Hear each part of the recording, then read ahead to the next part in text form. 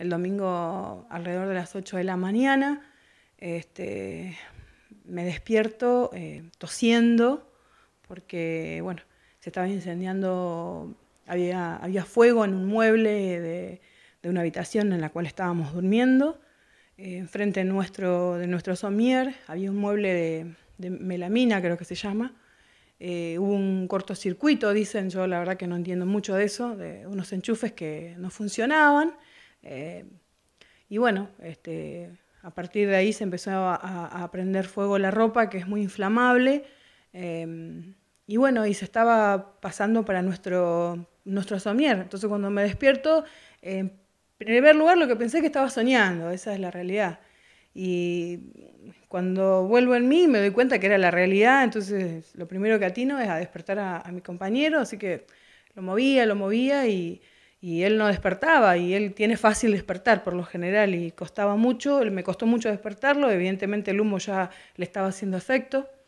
Y, este, y bueno, y cuando él se levanta, lo primero que empezó fue a, querer apagar el fuego de alguna forma, que ya había avanzado el somier.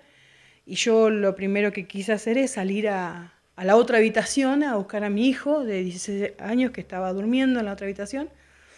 Así que bueno, lo despierto y, querer bajar nada más, querer bajar y salir porque yo ya veía que no podíamos hacer mucho, porque eh, fueron 10 minutos, 15, no sé, perdí la noción que el fuego fue muy rápido, avanzó muy, muy rápido.